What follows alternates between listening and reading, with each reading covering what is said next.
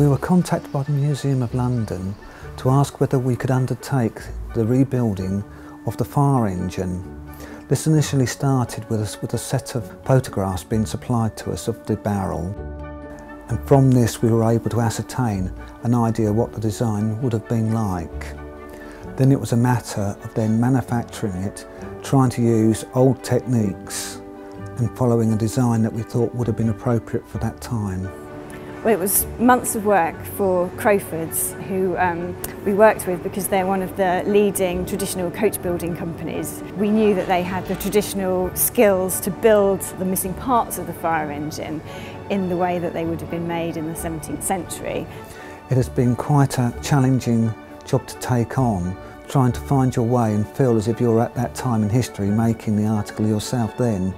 So it's looking at all the materials that would have been used, designs and shapes and what they would have actually been capable of actually doing at that time.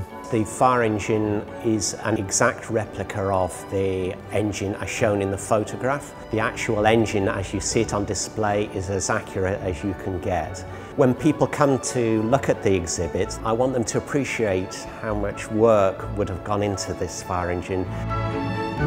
Water would have fed into the piston itself. The maximum it would have held about six pints of water, providing the barrel was full of water.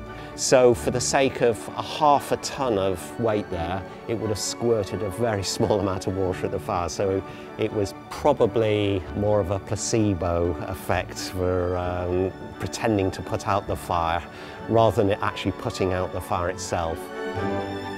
When it was first loaned to us in 1928, the fire engine was just a barrel essentially with a metal tube in the centre. So it was really hard for visitors to understand that it actually was a fire engine. It's the first time we've ever been able to show how this fire engine would have worked. So I think it's really going to be a kind of centrepiece of the exhibition. Um, it's going to be a really exciting thing for people to see.